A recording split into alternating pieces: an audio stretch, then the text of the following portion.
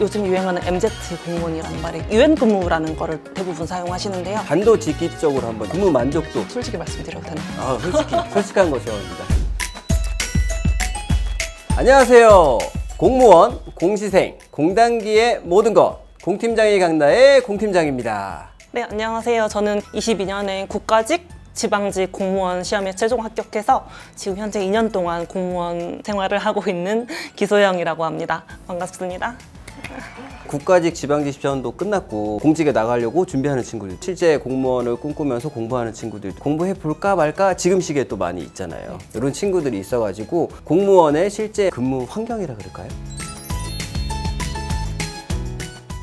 저는 일단 국가직과 지방직 시험에 모두 합격을 했는데 고민 끝에 국가직 공무원을 선택하게 되었습니다. 그 이유는 물론 지방직 공무원도 좋지만 국가직 공무원의 장점이라고 할 수 있는 게 중앙부처에 소속되어 있을 수 있다는 소속감과 지방직과 다르게 국가직은 전국의 지역을 돌아다니면서 근무할 수 있다는 장점 때문에 전국을 돌아다닐 수 있는 게 장점으로 받아들이셨구나 네. 단점을 하고 받아들이시는 분도 있- 네. 있잖아요 그럼 중앙부처에서 어떤 일을 주로 하시는가요? 중학생, 고등학생, 대학생 등을 대상으로 정책에 대해서 홍보하고 교육하는 업무도 담당하고 있습니다. 어려워하는 민원 업무는 없으신 편이군요 네, 그리고 국가직의 최대 장점이 민원 업무가 없다는 점이라서 제가 국가직을 선택한 또 다른 이유입니다. 아예 없는 건가요? 민원이 있더라도 본인이 신청하신 서류를 간단하게 발급받으러 오시는 민원이라서 악성 민원은 제가 2년 동안 한 번도 경험해 본 적이 없습니다. 그럼 단도직입적으로 한번 여쭤볼게요 근무 만족도 뭐 점수를 매기신다면 별 다섯 개 중에 네 개 정도 드릴 수 있을 것 같아요. 4점 정도? 촬영에서 일부러 높게 주신 거 아니죠?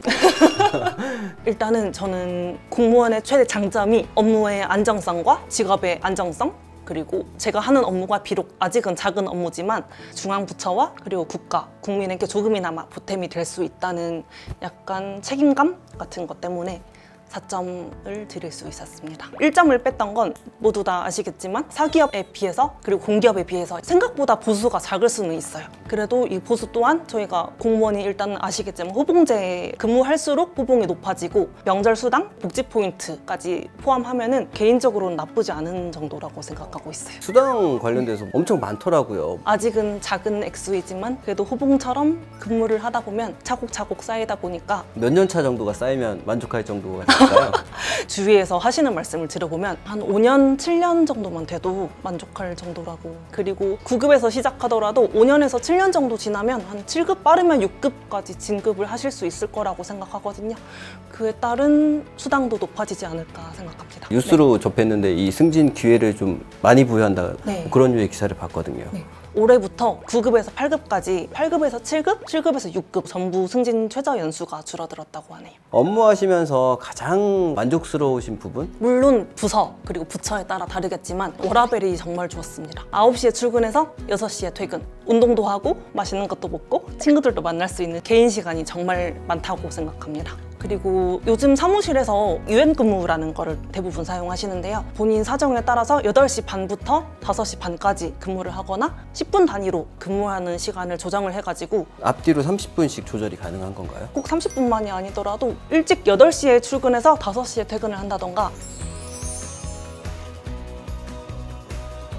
그 워라벨 말씀해 주셨는데 야근 근무가 많다고 솔직히 말씀드리면 한 번도 한 적 없다고는 말씀을 못 드리겠지만 일단 연말, 연초 때 1년 단위 계획 3년 단위 계획, 큰 자료들을 작성할 때는 아무래도 협업해서 작성을 해야 하기 때문에 이런 특수한 경우에는 1시간에서 2시간 정도만 야근을 했던 것 같습니다. 그렇게 생각보다 많지는 않다. 네.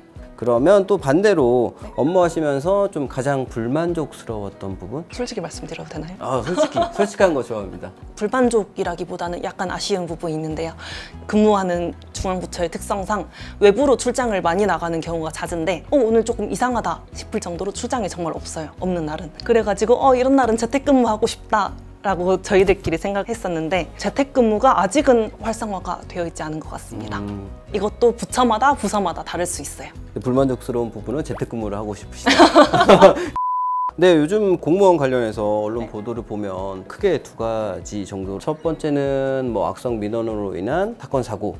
그리고 두 번째는 조직적인 문제에서 오는 열악한 근무 환경. 이런 문제점에 대해서는 실제 근무하고 계신 입장에서 네. 어떻게 생각을 하시는지. 악성 민원 같은 경우 같이 준비했던 친구들 중에 동주민센터와 그리고 시청, 구청에서 근무하는 친구들이 많은데요.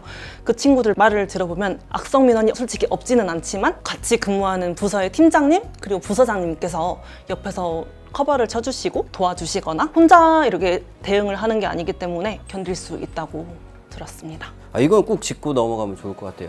앞으로 공무원이 되셔서 뭐 현직에 가실 분들도 계실 거고 혹시 현직 공무원들이 이거를 보실 수도 있을 텐데 뭐 그런 악성 민원에 시달리신다면 주변 분들한테 꼭 도움을 청하시는 게 좋지 않을까. 혼자 끙끙 앓다가 진짜 사건 사고가 나더라고요. 네네. 정 힘드시면 공 팀장을 찾아주시면 찾아뵙도록 하겠습니다.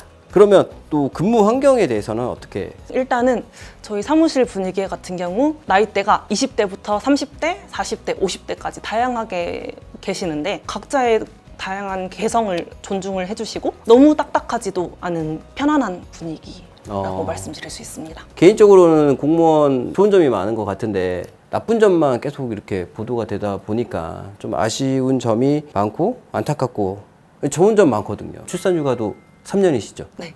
아, 또 요즘은 정년 연장도 추진한다고 네, 알고 맞습니다. 있어요. 65세까지 연장 될 수 있다고 저도 전달을 받았는데요. 아직 나는 일을 하고 싶은데 정년이 도래되면 너무 아쉽잖아요.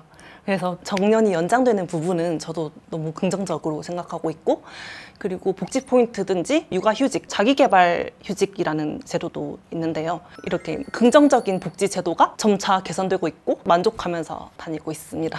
자기개발 휴직, 요건 뭐 어떤 거죠? 개인적으로 어학연수를 다녀오고 싶다거나 정말 자기개발에 필요한 자격증 공부라든지 그러면 이제 수험 관련돼서 질문을 공부하는 친구들을 보면 제일 안타까운 부분이 주눅든 채로 공부를 하고 있다라고 느껴지거든요. 네. 소영님은 공부하실 때 어떤 편이셨나요? 아, 저도 정말 공부하면서 아, 내가 정말 합격할 수 있을까? 그리고 만약에 불합격하게 되면 이 공부를 또 할 수 있을까? 라는 불안감이 너무 컸어요. 근데 공단기 선생님들이 말씀하셨던 것도 그렇지만 하루하루 복잡한 감정이 들수 있지만 그런 복잡한 감정을 절대 휘둘리지 않고 자신을 믿고 끝까지 목표를 향해서 가는 것이 중요하다고 생각합니다. 그렇게 하셨겠죠? 네. 네, 그렇게 하셨으니까 진짜 기간이 1년 안 되시죠? 9개월 정도 네, 공부했어요. 9개월인데 이관왕이시면 엄청 좋은 성적이시잖아요. 네. 그러면 지금 돌이켜 봤을 때 아쉬웠던 점? 제가 성격이 살짝 급한 편이라서 문제를 끝까지 안 읽고 풀이를 하다 보니까 자주 틀렸어요. 그리고 자주 틀리다 보니까 저 자신에 대한 회의감도 들고 불안함도 컸어요. 시간은 아직 많이 남아 있으니까 절대 급하게 생각하지 마시고 차분하게 자신을 믿고 커리를 따라가셨으면 좋겠습니다. 그리고 일단 장시간 앉아 있고 인강을 보고 계속 똑같은 문제를 풀다 보니까 당연히 육체적으로도 정신적으로 너무너무 피로했는데 집에 걸어가는 길, 점심시간 간식 먹는 시간 조금씩이라도 운동을 했더라면 조금 더 내가 건강하게 할 수 있지 않았을까 생각이 듭니다. 오늘 이렇게 좋은 말씀 해주셨는데 수험생 분들도 합격생 분들도 유념해 주셨으면 좋겠습니다. 마지막으로 하시고 싶은 말씀이 있다면 길다면 길고 짧다면 짧은 수험 기간 동안 절대 낙심하지 마시고 본인 자신을 믿고 수험 기간 동안 본인이 공무원이 됐을 때의 모습을 상상하면서 화이팅 하셨으면 좋겠습니다. 새로운 학기가 시작됐는데 모두들 좋은 결과 있으셨으면 좋겠습니다. 자, 수험생 모두가 합격하는 그날까지 공 팀장이 간다. 간다.